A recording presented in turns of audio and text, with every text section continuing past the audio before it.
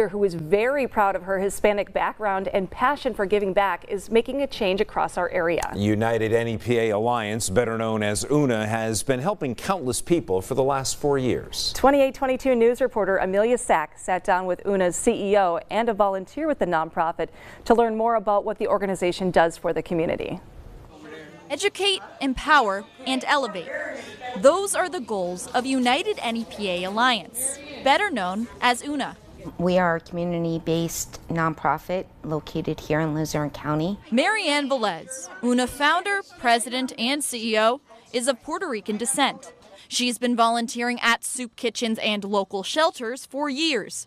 Velez says the pandemic propelled her own organization to get started and it was a group of us that were just reaching out to those that were in need on Facebook asking for help with groceries. And I loved what we were doing, so I said, I'm going to turn this into a nonprofit. Wish me luck.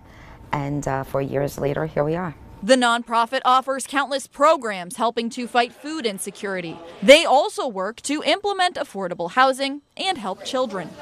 Events like the Back to School giveaway are ones that hit home for Velez. I grew up poor.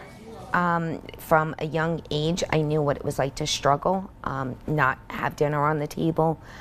Um, as I, you know, matured and had a family of my own, I wanted to give back. Now, UNA has become a community of change makers. Tiara Washington is one of the organization's volunteers and members. After experiencing homelessness and getting back on her feet, Washington says she wanted to pay it forward.